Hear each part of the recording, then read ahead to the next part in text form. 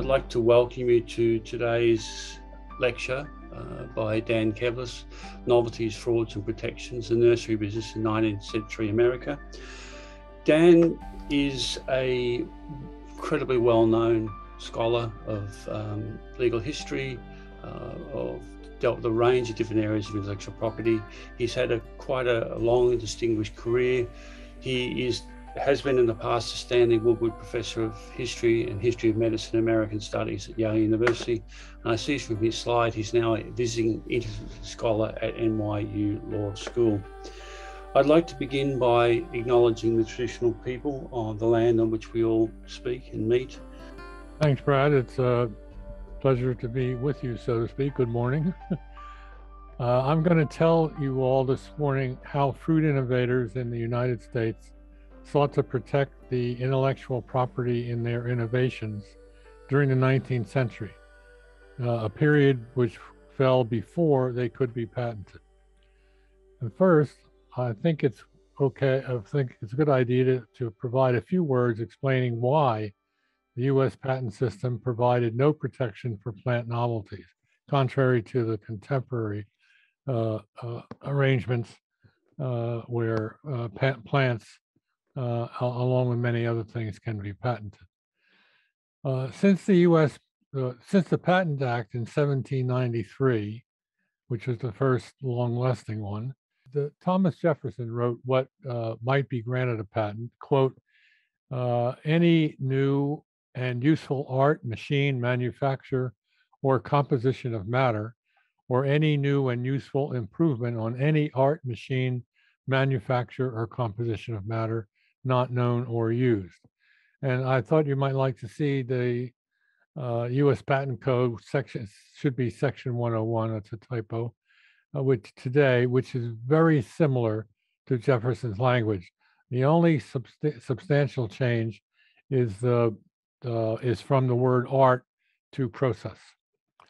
Um, so Jefferson still lives with us, uh, at least in U.S. patent law.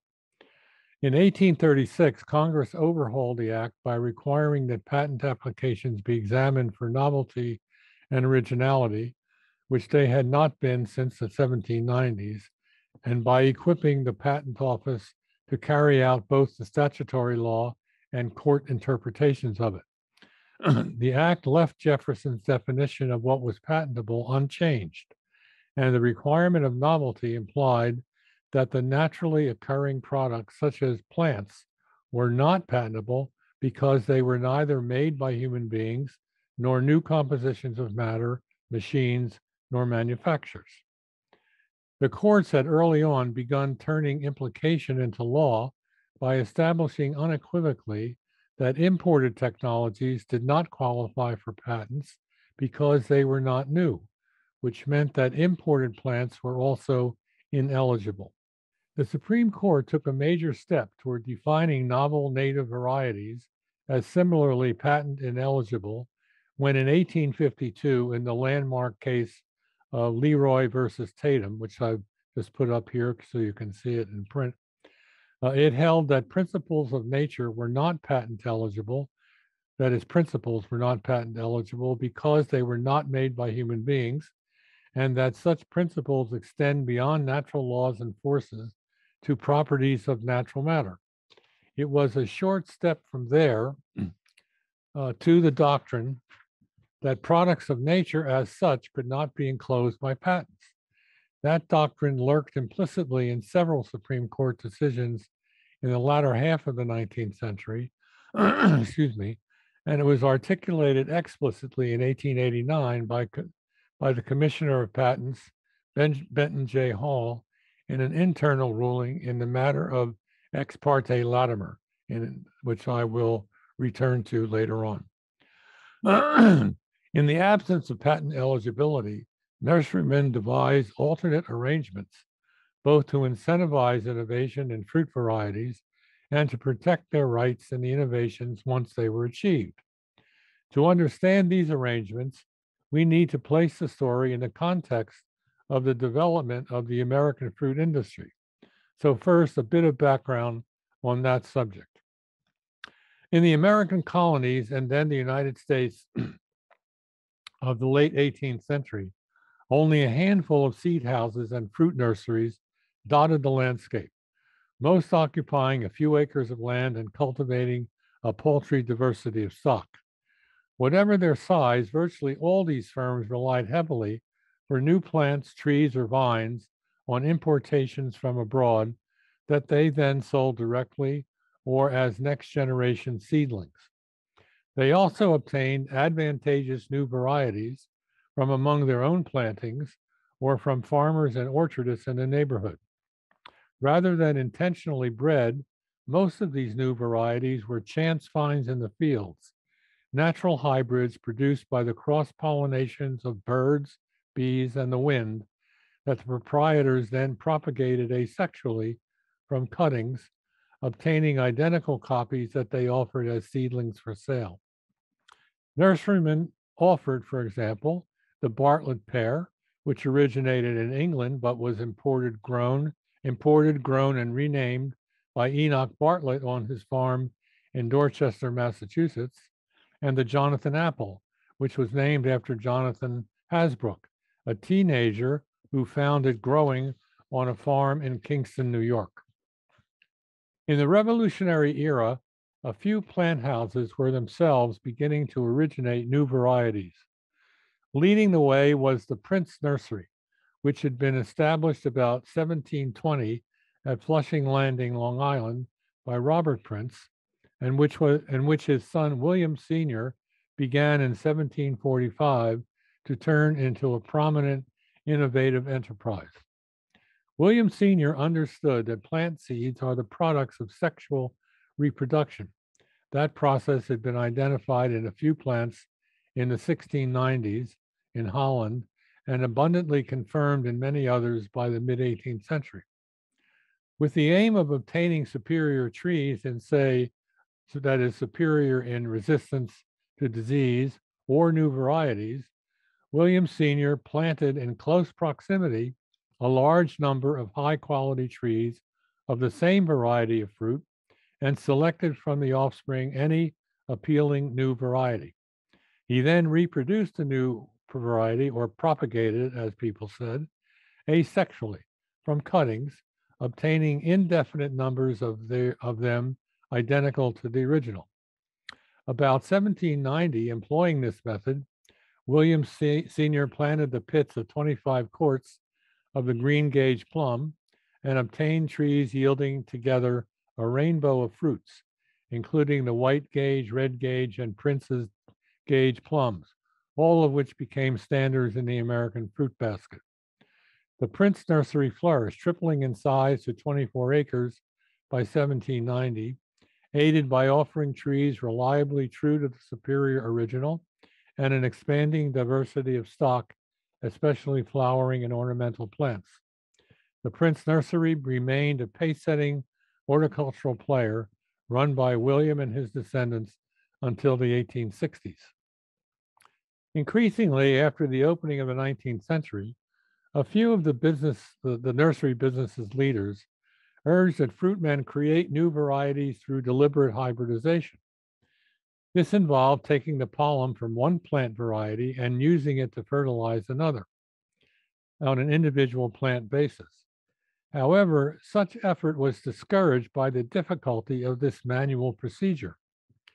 The need of, the, the, the need of tweezers, magnifying glass, and a sure hand, and it also was discouraged by biology and economics. Sexual crosses of plants, trees, or vines yielded in the main unpredictable results, including often fruits unworthy of table or market. Then, too, fruit trees tended to bear as long as three to nine years after planting.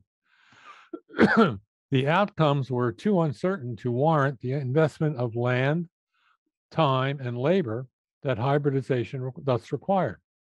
Most domestic plant innovation thus continued to arise from the plots of cultivators who found new varieties in their fields or gardens, the products of natural hybridization, or of Prince's method that they then selected and propagated.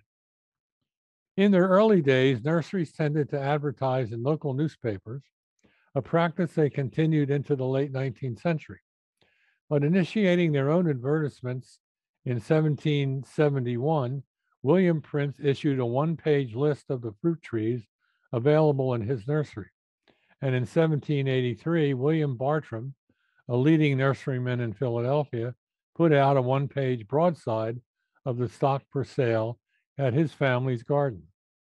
After the turn of the century, purveyors of seeds and plants added more sheets and turned them into bound catalogs. In content, these publications tended to comprise bare lists of the seeds, plants, or fruits available for purchase. Amid the dominant localism of the markets, there was little competition and hence little need for product and brand differentiation.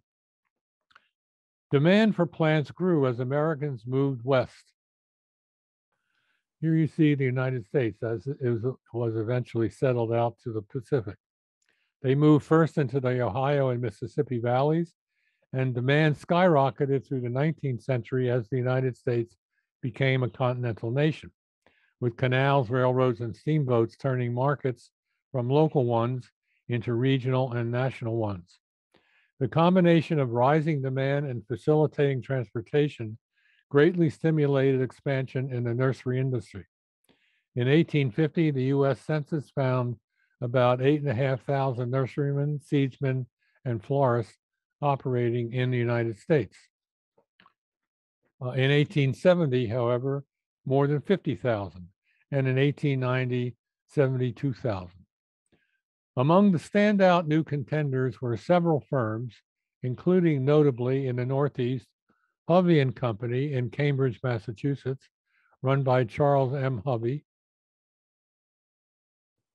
Uh, in Cambridge, Massachusetts, uh, and um, uh, and in Rochester, New York, George Ellwanger and Patrick Barry, uh, who owned and operated the Mount Hope Nursery. The two enterprises would eventually take their place among the most prosperous and influential companies in the nation's nursery business. The proliferation of firms, whether large or small, national, regional, regional or local in reach, transformed the far-flung enterprise into a business essential to the increasingly specialized economy. It also generated an intensifying competition that steadily altered the business character the character and, and orientation of the business. To the end of meeting competition, both the surviving companies and the new entrants placed a premium on offering multiple plant varieties every year, and especially important each year, a number of what the trade called novelties, or we would call uh, innovations. In the main, new varieties of fruit. These were, that is, the innovations but they were also established varieties of greater hardiness or earlier bearing. However, the impersonality that came with the vastly expanding market also generated unscrupulous competitors, thieves of names and novelties. In the latter half of the 19th century, legitimate nurseries grew increasingly absorbed with safeguarding their brands and obtaining a return on their investments in their innovations the effort and labor and dollars required to turn them, that had been required to turn them into marketable products. Increasingly, the firms came to recognize that the novelties as such represented a kind of property, what we call intellectual property, that they needed to protect. While they did not have the phrase, though it was there in the US in the, by the 1840s, they didn't use it, they came to possess the concept understanding well the economic advantage of preventing others from undercutting, appropriating, reproducing, and selling their new productions. To various measures that incentivized innovation in the absence of patents. Among them were the local horticultural societies that sprang up in a number of cities beginning in the 1820s. Prominent among these was the Massachusetts Horticultural Society, of which Hovey was an energetic member. the Massachusetts Society hosted sumptuous dinners, well lubricated with wine and Madeira, where members and guests extolled the uplifting value of their products and praised each other's accomplishments. The centerpiece of its meeting comprised lengthy tables laden with new fruits, vegetables, and flowers. Judges evaluated them in different categories of competition and awarded prizes to the best. The prizes were highly coveted and constituted a major incentive for the development of new varieties. They amounted to a seal of recognition and attested to the quality of the product, both of which could be turned to advantage in the competitive market.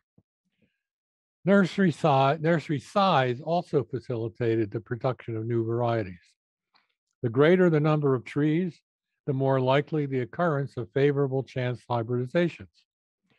Such practices produce novelties among the nurseries like Ellwanger and Ellwanger and Barry's, for example, that cultivated trees and uh, which cultivated trees and plants by the thousands. But the adventurous proprietor of a small nursery might generate an advantageous hybrid in his field by a modified version of Prince's method.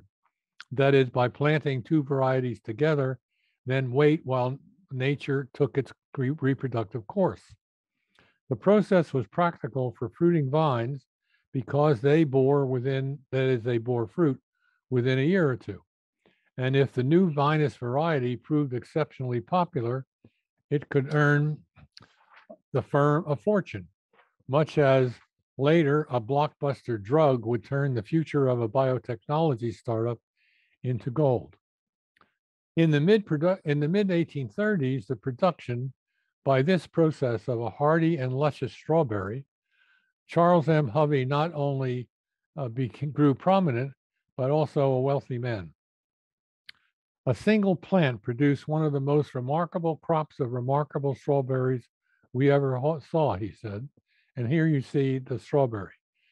Between 1838 and 1854, Hovey's seedling strawberry, as he named it, received the Massachusetts Horticultural Society's annual premium for strawberries at least a dozen times.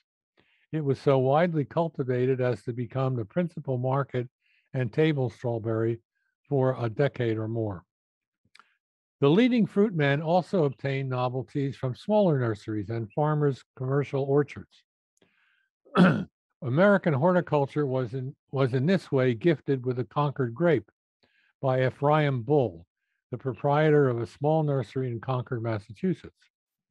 Bull's new variety, developed using Hovey's method, ripened two weeks earlier than the earliest then known and yielded large clusters of delicious fruit, good for the table and for the wine, and for wine.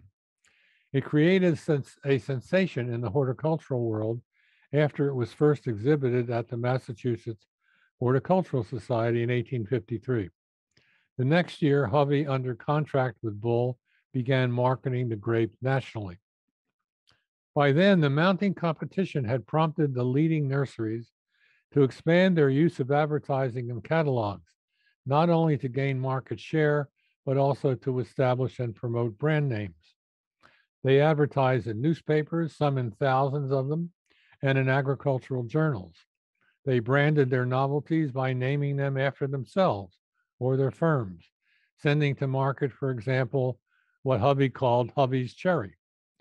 They reinforced the brands by transforming their catalogs replacing the bare list of fruits and flowers with selling descriptions of their productions that might include shape, taste, and color, uh, time to maturity, fecundity, and hardiness, and by presenting their firms as the grower's helper and friend. Distributing their catalogs by the tens of thousands, they made themselves well known among farmers, orchardists, and fanciers. I don't know if you can see this. This is from Ellwanger and Barry's catalog, uh, a page in 1876. Uh, if you could could see it, you would notice that each fruit is described. And earlier in the catalog, you would also see uh, printed a guide to um, when to plant, uh, how to care for the soil, prepare the soil, uh, and so on. A number of nurseries, add, and this is typical of all these catalogs, by the, by the mid 19th century. A number of nurseries advertised and sold their pr- productions through itinerant agents who extended the range of their markets. Ellwanger and Barry, eager to sell to the vast reaches of the settling West, were early and prominent in the use of agents, employing 69 of them by the 1860s. Eastern firms followed suit with the aim of competing for the Midwestern trade. For protection of their production, their innovations, a lot of nurserymen relied on the honesty of their local colleagues. In fact, in the local areas in and around towns and cities, the proprietors of nurseries knew each other, not least from the gatherings of their horticultural societies, and they often enjoyed personal ties. An etiquette of trustworthiness colored their business relationships. Ephraim Bull counted on it when, before releasing the Concord grape for sale, he began promoting it and the, it and the white Concord, a novelty that soon followed, by inviting various nurseries to test them. The strategy posed risk to Bull's control of the vines. Given the ease of cloning fruit vines, competitors who obtained possession of Bull's vines could generate identical copies of his grapes and capture sales that might otherwise have been his own. The nurserymen in the Boston area refrained from such practices, holding to an honor code that respected the interests of originators. Those to whom Bull sent his Concord vines revealed several of the code's specific tenets.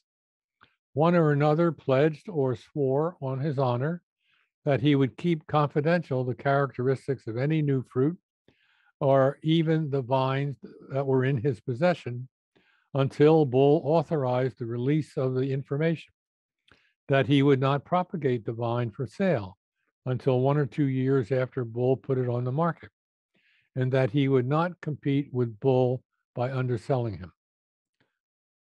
However, the impersonality of expanding national markets allowed honor to diminish and die with distance. So, what we get along with honesty locally is deception regionally and nationally. Distance and distance enabled the entry into the market of sellers who lacked the personal ties and common values of the circles around a Prince, a Hovey, or an Ellwanger and Barry. A noticeable number of the new breed cared for more cared far more about turning quick profits than about transforming the landscape and society. Profiteers, charlatans, and frauds, they knew little about the trade or its plants, their names, benefits, and growing requirements, especially after mid century, when so many new varieties were being introduced. They misrepresented their products supplying customers with plants and seeds that did not live up to their advertisements of hardiness, healthiness, quality, or fruit, or color of fruit, or color of flowers. Critics in the trade called them imposters, careless in their nurseries, evil overall. Among the worst perpetrators of these frauds were the freelance plant agents, whom the main nurseries often relied on to sell their stuff, who offered these these guys offered purchasers cheap but usually unreliable stock, the identity and quality of which they misrepresented. Dubbed plant peddlers, some falsely claimed to be agents of reputable nurseries. Ellwanger and Barry found that it had to caution the public against certain persons who are in the habit of using our catalogs and representing themselves as our agents but who in reality have no dealings with us. Most commonly, others got a bona fide certificate of agency from a nursery, sold enough of the agency's products to maintain the certificate, and on the side, the American Agriculturalist Journal noted in 1863 sold inferior and untrue trees picked up here and there at nominal prices. The journal called the horticulturalist found honest nurserymen undercut by fraudsters who could palm off, as they said, indifferent and worthless varieties of fruits and flowers as something new, extraordinary, and valuable at the most exorbitant prices. Buyers would be none the wiser at the time of the sale, given that the identity and character of, say, a hibernating rose or a quiescent vine did not reveal themselves for some months, and that the fruit of a seedling tree often did not become manifest for five or six years after planting. Purchasers faced the hazard, uh, the hazard resembling the wine fanciers of buying a bottle labeled, say, Chateau Lafite, that upon drinking proves to be a blend of mediocre varietals or worse. So, how are they going to protect their productions, their innovations in the face of these deceptive practices, fraudulent practices, and evil behaviors? So, to protect their rights, plant innovators had to specify the plant. That was the first requirement. That is, exactly define or describe it. This was easily accomplished with a tract of land, but not with a living organism such as the Concord grape. They, re, they resorted at first to uh, trying to achieve descriptive integrity through words. The problem of specification was closely tied to the practice of naming. Hovey noted that the, that the proliferation of American fruits had been accompanied by a problem of growing concern to nurserymen, what he called, what he described as a confusion of nomenclature, which has greatly retarded the general cultivation of the newer and more valuable varieties. Confusion was, was, if anything, an understatement. Fruits in the United States were bought and sold under a riot of synonyms that only grew worse with time. In 1875, William Housley of Leavenworth, Kansas, a compiler of apple synonyms, reported that 29 varieties were known by 370 names, including 17 for the variety called the Ben Davis, 27 for the variety called the Ortley, and 36 for the Nickajack, which was one of the most widely consumed apples of the day. Housley called the the tendency of so many old and fine varieties to be referenced in horticultural publications under new names an intolerable evil, as he put it, and grievous to be borne. Why such passionate objections to the wanton proliferation of synonyms, to a mere confusion of names? The reason was precisely because the practice lent itself to misrepresentation, fraud, and misappropriation. In the rapidly expanding nursery industry, distance combined with the impersonality of the buyer originator relationship allowed some sellers, as I've said, to operate disreputably. They might obtain cheap, unreliable stock, then tell buyers it was the product of a reliable firm, or sell it under the name of a prized variety of fruit, or both. Buyers would be none the wiser at the time of sale, given that the identity and character of a tree and its fruit could not be determined simply by inspection. The disreputable agents might also somehow obtain seedlings of good stock by purchase or theft, propagate it, then sell the trees or vines under a different name from the one that recognized their finders or originators we have to say that a good apple by any other name would taste as sweet. Nurserymen called for pomological reform, as they put it, the establishment of means to protect the public against the flood of new varieties of little or no value. To that end, in 1849, a number of such pomologists met in Buffalo, New York, with the aim of establishing a national organization intended in no small part to regulate fruit names and descriptions.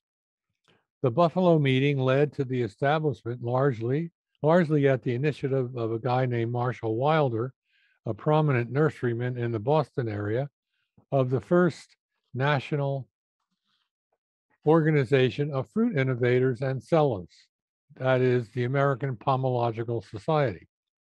Its name drawn from Pomona, the Roman goddess of fruits.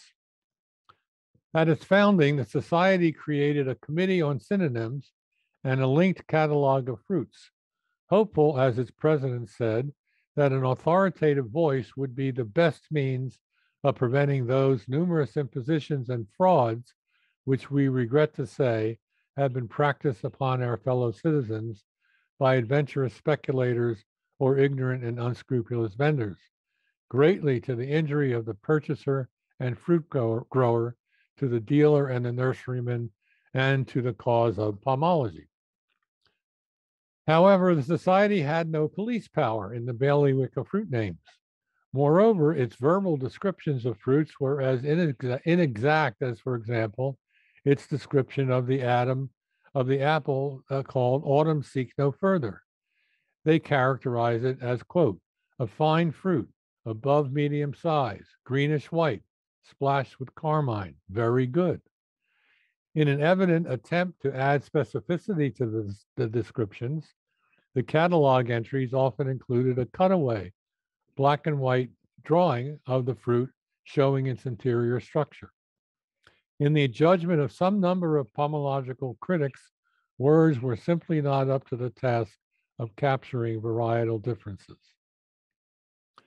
So, how else to obtain descriptive integrity? Well, through pictures. Hovey himself recognized the inadequacy of verbal descriptions, whether published in the Pomological Society's catalog or in nursery catalogs, including his own. He had in mind a far more accessible means of dealing with fruit names and synonyms, the dissemination of accurate illustrations of the fruits themselves in color. Paintings and colored etchings had long been used to identify botanical specimens, including fruits. But oils and hand colored etchings did not lend themselves to the widespread identification of fruits, even in small markets, let alone the steadily enlarging ones of the United States, which, as you know from the map I showed you, was very, very big, like Australia. Hovey fastened on a new technique, chromolithography, to accomplish his purpose. Devised in Europe in the 1830s, the chromolithography promised, chromolithography promised to enable the production of multiple faithful copies of colored fruit portraits. And here you have a, a chromo by a fellow named William Sharp. Uh, Sharp was an English painter, a drawing teacher, and lithographer who, who brought the technique to Boston. Chroma, he brought the, the technique of chromolithography to Boston in 1838 and promptly opened a shop to produce chromolithographs, as he called them. In 1847, Hovey, Hovey enlisted Sharp to begin publishing a series of chromolithographs of the nation's fruits. In 1853, Hovey published the series in a compendium that he titled The Fruits of America, Volume 1, which was followed by Volume 2 in 1856. And here you see the cover. And here are a sample, couple samples of the chromolithographs uh, inside the book. For the picture of the Hovey seedling strawberry uh, also comes from this book. And here's a pair, beautiful pair. Together, the two volumes comprise 96 vibrant, vibrant chromolithographs, each handsomely depicting a different fruit with its stem and leaves. Hovey declared in the preface to the first volume that he felt a national pride in beautifully portraying the delicious fruits in our own country, many of them surpassed by none of foreign growth, and thus demonstrating the rapidly developing skill of our pomologists to the cultivators of the world. But his aims transcended patriotic celebration. He averred that his principal object in publishing the work was to reduce the chaos of names to something like order. Hovey held that Sharp's plates showed that the art of chromolithography produces a far more beautiful and correct representation than that of the ordinary lithograph. Not everyone in the fruit world agreed. One critic, for example, holding that chromolithographs lacked that fidelity to nature and delicacy of tint which characterize trees, uh, sorry, which characterize the best English and French colored plates done by hand. I leave it to you to decide. In the coming decades, chromolithographs would greatly improve in quality. Their costs would decline, and they would become more widely used in the nursery trade, including even to depict the contents of seed packets. But at the time, users of fruit illustrations counted as superior portraits produced by the well established technique of printing black and white lithographs or etchings that were then watercolored manually. Some nurseries used hand colored plates in their catalogs. Most relied uh, on peddlers' handbooks, which from the 1850s began to include such colored illustrations. One of the most widely used was a colored fruit book for the use of nurserymen, that's the title, first published in 1859 by uh, Dellon Marcus Dewey of Rochester, New York, which was a major center of both the fruit and the lithography industries. This uh, included 76 colored prints. Here you see one of them. Deluxe editions of Dewey's plate books, uh, edged. I mean, the, the aim of the of the of the specimen book was for the salesman was to provide the salesman with pictures of what the fruit of the trees that they were selling would actually look like. And of course, the salesman had to be honest uh, and and trustworthy. But Dewey was alive to that. Uh, deluxe editions of Dewey's plate books, edged in gilt and bound in Morocco leather, served as prizes at horticultural fairs and as parlor table books. Dewey employed some 30 people, including several capable German, English, and American artists, a number of them women.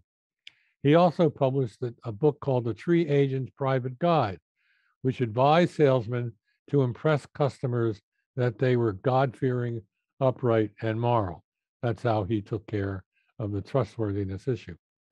Eventually, by the late 19th century, however, despite all these methods that they had developed for incentivizing innovation and protecting the product, the products of the effort, all the measures uh, taken by the seed houses and nurseries uh, aimed at to protect their brands, aimed at encouraging consumer confidence, or at forestalling consumer to, de- deception, all of these proved inadequate. And the by the late 19th century, the nursery trade began to turn for protection to both marketing by marketing and law. The measures were that they had been using were inevitably vulnerable to the ingenuity and brazenness of frauds and cheats of the kind I've described. Even illustrations could be made to lie. Anyone could obtain the plates, and anyone could prey on gullible farmers, showing them plates of strawberries, for example, uh, grown on trees, strawberries grown on trees, mind you, or blue roses, what the American agriculturalists called astonishing fruit.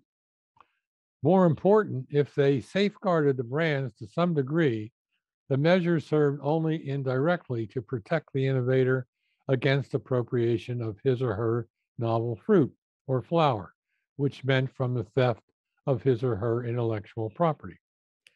The American Pomological Society had no police power. Its only weapon was moral suasion, which is to say that it had little authority to enforce uniformity in fruit names, descriptions, or qualities.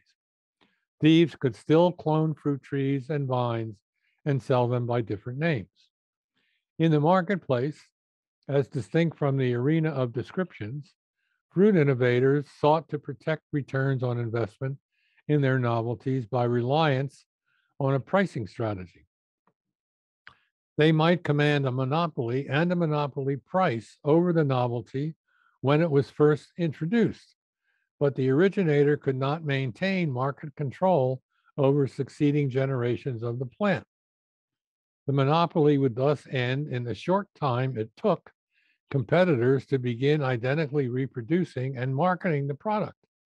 Its price would fall rapidly, and so would the innovator's revenues. Under these circumstances, originators forged a strategy of protection that centered on selling the first release of new varietals at high prices. The price level reflected the fact that at first introduction, the supply of novelty of a novelty was limited. But the price was also intended to capture in the first several years of sales what economists would later call all the downstream revenues of which other propagators, authorized or not, might deprive the fruit innovator, the original fruit innovator. The nursery catalog of the day, catalogs of the day reveal the pricing practice. For example, when in 1854, uh, Hovey first listed Bull's Concord grape for sale, he priced it at $5 per cutting, a single cutting, a decided premium over the two to four dollars people charge for 100 plants at which common varieties were ordinarily uh, sold. The first season sales of Bull's Concord grape totaled $3,200, the equivalent of almost $110,000 today, a sizable sum. But faced with the rapid dissemination of the grape, Hovey had to cut the price from $5 to $3 a cutting.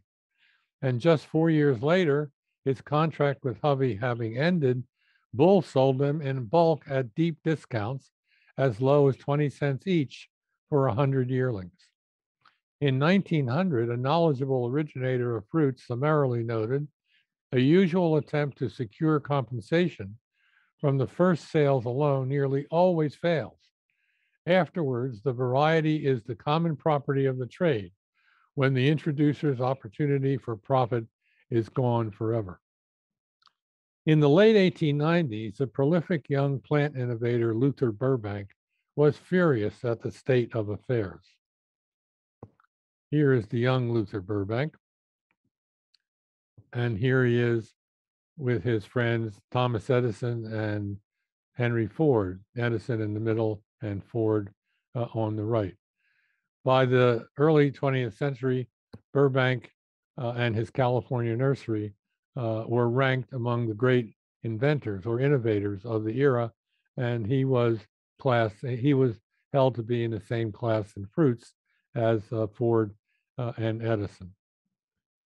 In the 1890s, before he got so famous, Burbank fulminated to the readers of Green's Fruit Grower that he had been robbed and swindled out of my best work by name thieves, plant thieves, and in various ways too well known to the originator. A plant which has cost thousands of dollars in coin and years of intense labor and care, and which is priceless is of priceless value to humanity, may now be stolen with perfect impunity by any sneaking rascal. Many times have I named a new fruit or flower, and before a stock could be produced, some horticultural pirate had either appropriated the name, using it on some old, well known, or inferior variety, or stealing the plant and introducing it as their own or offering a big stock as soon as the original, as the originator commences to advertise the new variety. Now that pricing or any other private strategy seemed increasingly ineffective, nurserymen began in the 1870s, but with mounting intensity from the 1880s, to call for assistance from government, notably through patent and trademark law in safeguarding what they now commonly called the rights of originators. However, patents on plants were foreclosed by the 1889 ruling in Ex parte Latimer that I've mentioned earlier.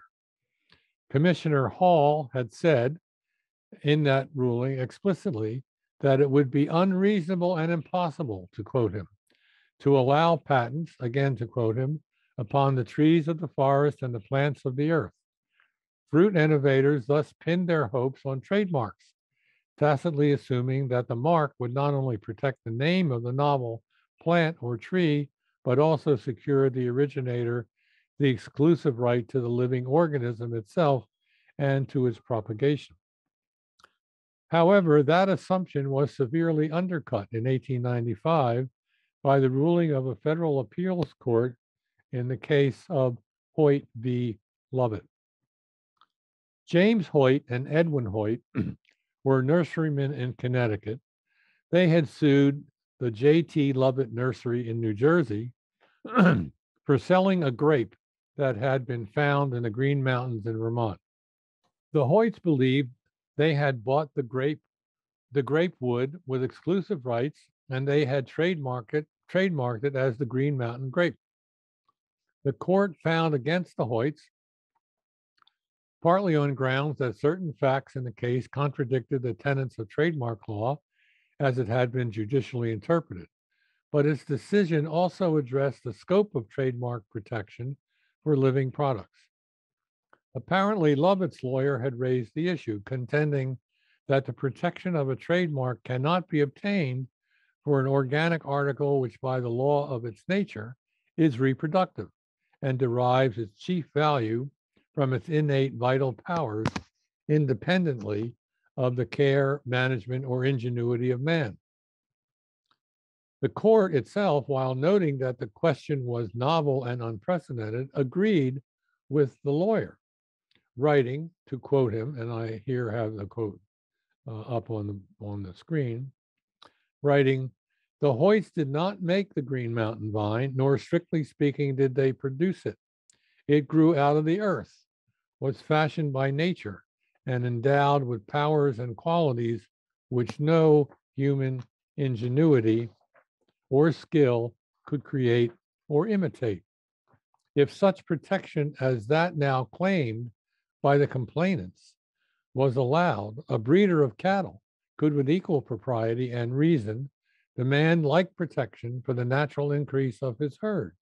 In every aspect, such claims would seem to be impracticable and inequitable. Over the course of the 19th century, then, to conclude, the horticultural enterprise had come to place a premium on protecting brand name novelties as such. By the end of the century, that effort had generated the aim of protecting the intellectual property in the trees, vines, and flowers that the brands represented.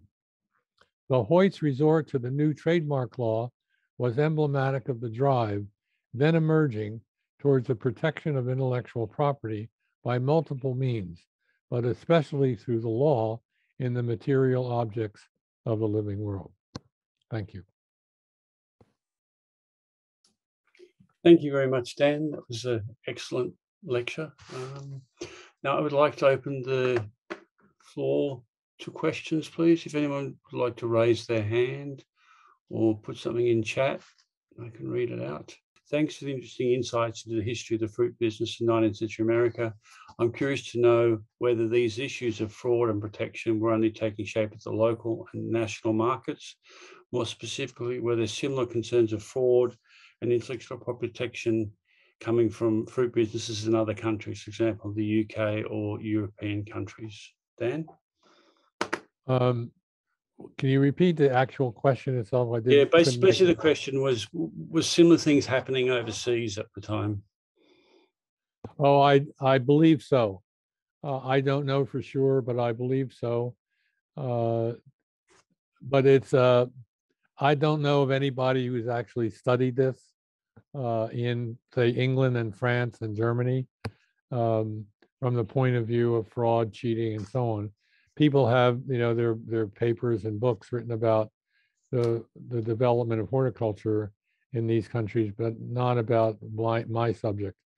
Um, my from my com- limited conversations with uh, scholars of um, horticulture in England and on the continent, I think the same thing was happening. But it's more, much more difficult in, say, a small country like, um, comparatively small, like France or England, or let alone the the nation states of Germany or Italy, uh, for these kinds of practices mm-hmm. uh, to take hold without uh, um, consequential shaming uh, on a, uh, against the perpetrators. Um, you know, both certainly France has a much more centralized system of everything uh, than the United States has ever had, uh, and Britain as well. Uh, and so you could get read, read out of the community. Uh, people took to, in the 20s, people tried to shame cheats and frauds here in the States but they didn't get anywhere because there was no way they could enforce the shaming. So whoever is looking for a subject, fraud, uh, intellectual property protection, incentivize incentives, and so on, in all the countries of Europe is a great uh, virgin territory to explore.